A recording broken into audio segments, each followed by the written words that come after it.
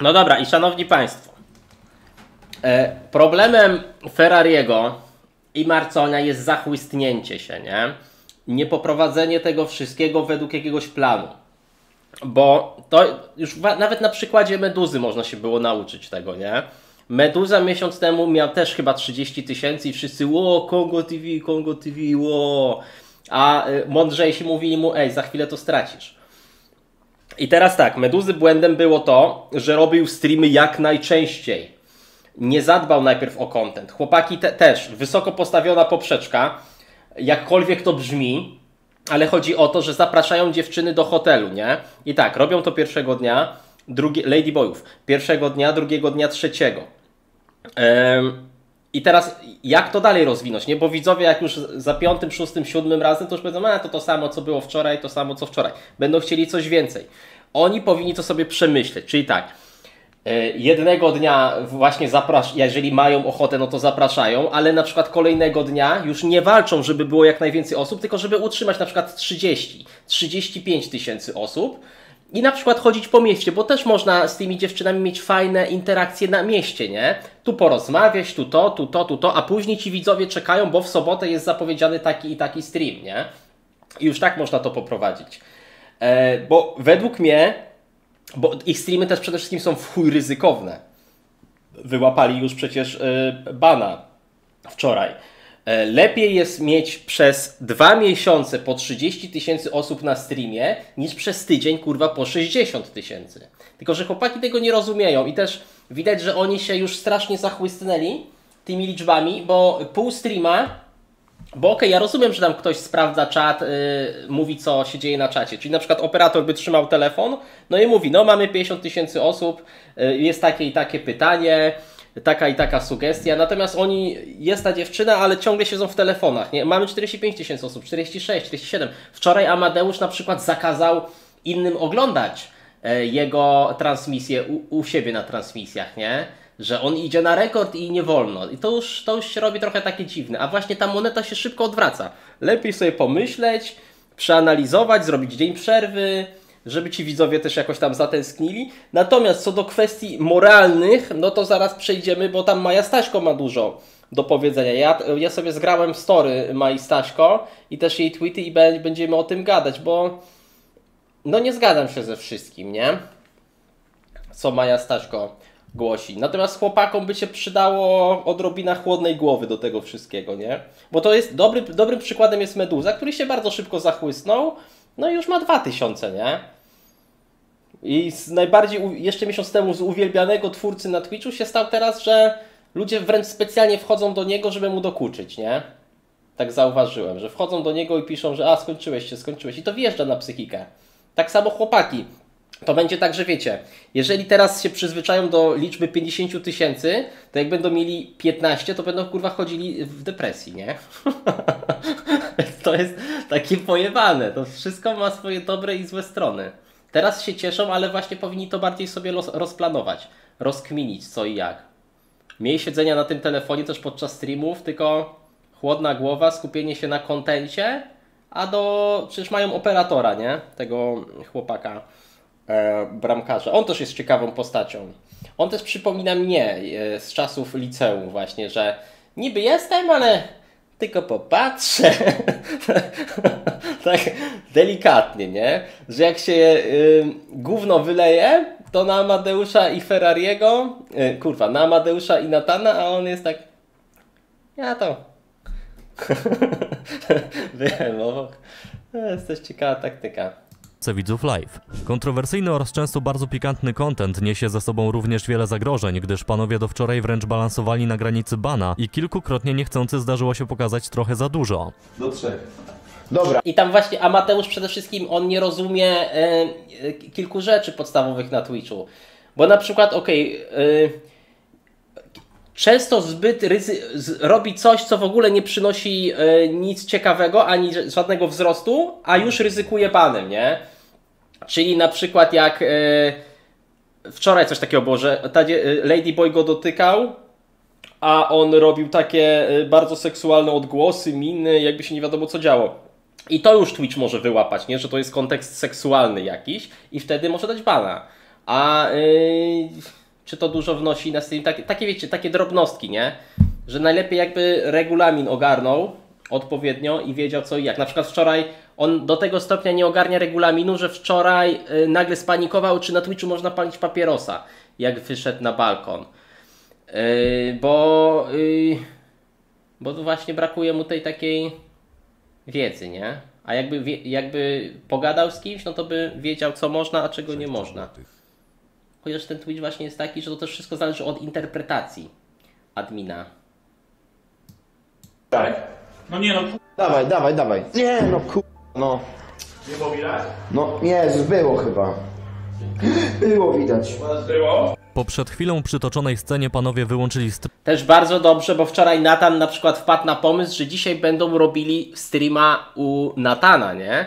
Więc to już by Twitch wtedy mógł wyłapać. Ja już wczoraj o tym gadałem yy, z Boxdelem, że jeżeli tak zrobią, no to od razu będą yy, yy, mieli, że omijają bana, nie? Coś takiego jak nitrozyniak, bo z Boxdelem gadałem, bo mu się nudziło, bo siedzi na lotnisku, nie? Mu przełożyli lot, bo chłopak od trzech dni próbuje się dostać do Tajlandii, nie? I nie może, bo tam przekładają, bo pogoda jest kurwiony, że takie liczby uciekają. streama, a ich ban wręcz wisiał w powietrzu, lecz tym razem udało się go uniknąć. Nie udało się jednak uniknąć blokady wczoraj, gdyż w pewnym momencie transmisja z nie do końca jasnych przyczyn została zerwana. Chwilę później Amadeusz Ferrari uspokoił widzów na swoim Insta Stories, zapraszając na platformę YouTube, gdzie kontynuował streama. Mordy, nic się nie przejmujcie. E, Jutro już będzie live'ik normalnie na Twitchu, teraz odpalamy się na YouTubie. Bądźcie gotowi, już wszystko organizuję. Natan Marcoń z kolei za pośrednictwem Twittera poinformował, że ban nie jest permanentny, a tylko na 24 godziny i panowie nie zamierzają się poddawać, gdyż dzisiejszy stream ma odbyć się na kanale drugiego zawodnika fejmu. Marcoń poinformował również, że powodem bana był nieodpowiedni Znaczy, dla nich, naj, bo to co robią, to ma, mm, to i tak prędzej czy później zostanie usunięte, nie? E, najbezpieczniej im by było na tej nowej platformie. Tylko, że na niej jest mało użytkowników. I pytanie, jeżeli oni teraz, póki są świezi, zadbają, żeby przekierować tam widzów, no to będą tam później mogli utrzymywać z tym swoim kontentem em, dużą liczbę osób. Tylko właśnie pytanie, nie? A najlepiej tak by zrobili jeszcze coś innego, ale ja tutaj nie mam procencika, nie radzę. odpowiedni ubiór. Co ciekawe, podczas jednego z ostatnich live'ów Amadeusz zdradził, że ma wkrótce przylecieć oraz dołączyć do nich jeden z włodarzy Fame MMA i najprawdopodobniej Co? Meduza? Nie kojarzę. Kto, kto dzwoni? Meduza? Takie morskie stworzenie? Coś tam słyszałem. chodziło o Boxdela. Bo jutro tutaj będzie jeden z gospodarzy MMA. Co ty gadasz? Nie, dobra, tak na serio Boxel tam nie leci, nie? To nie wiem, to tak on dla żartu powiedział na jakimś streamie, a ludzie to podchwycili. I mają bekę, e, że on naprawdę tam leci. On nie leci. Chyba. On już tam jest. Będzie tutaj? I może w Wojtek go Przyjedzie na pewno? No. Ale musisz poważnie, że Czekajcie, chyba jakiś donate. 10 zł.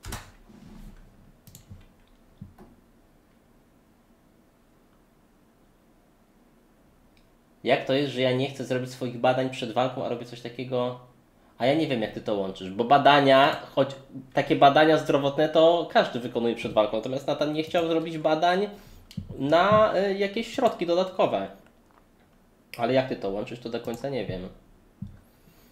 Wydaje mi się, że Ferrari na to nie patrzą na to długoplanowo. Nie no, patrzą długoplanowo, bo właśnie tak jest, nie? że y, im się wydaje, że wszystko luz i oni już przecież planują kolejne wyjazdy po fejmie e, i, i tak dalej, więc oni patrzą na to długo i oni się tym jarają, tylko że właśnie brakuje im odrobiny chłodnej głowy Em, i takiej analizy, nie? Typowej.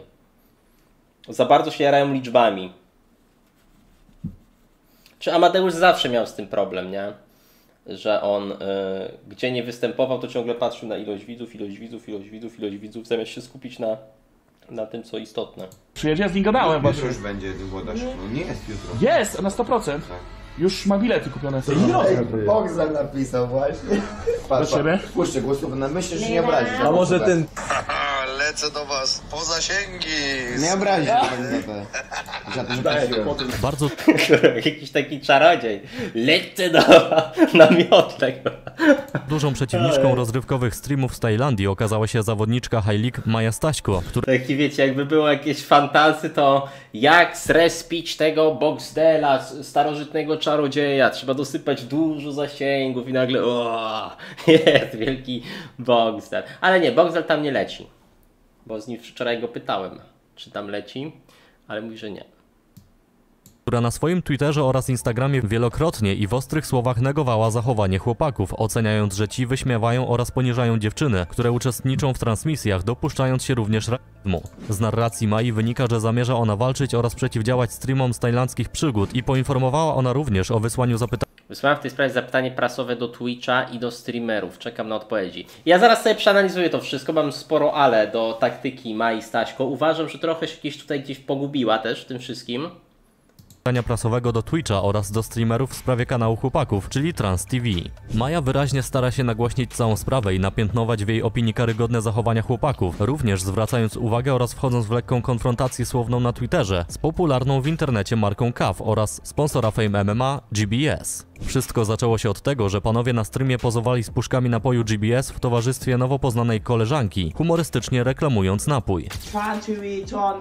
Yeah, GBS yeah. must first. Maja Staśko skomentowała sytuację. To jest też ciekawe, że podobno dostali bana Dlatego mi się wydaje, że ten ban był trochę ym, tak jak w przypadku Nitro, że powód taki na siłę, bo można było zbanować ich za inne rzeczy, natomiast podobno zostali zbanowani za ubiór. Natomiast ta dziewczyna jest ubrana znacznie mniej seksualnie niż streamerki basenowe występujące na Twitchu. Dlatego uważam, że coś, coś tutaj było tak, że a trzeba ich zbanować, trzeba na szybko coś znaleźć. Bo oczywiście na nich by się znalazły paragrafy, nie?